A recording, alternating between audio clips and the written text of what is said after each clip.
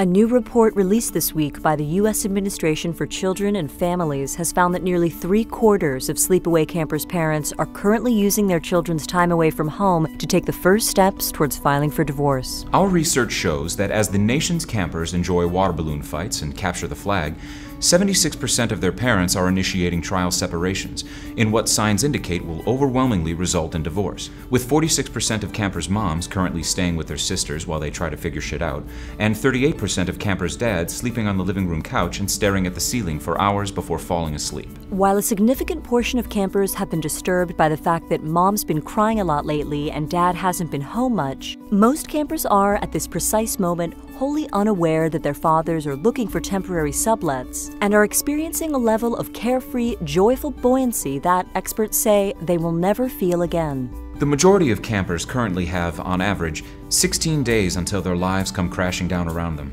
at which point their parents will pick them up from camp, drive them to a restaurant, and then break the news that while they'll always be a family, they won't be living together anymore. I love camp this year. It's so much fun. We were waiting for Justin to go away to camp to figure out what we were gonna do. I don't know. I just don't know. I'm trying.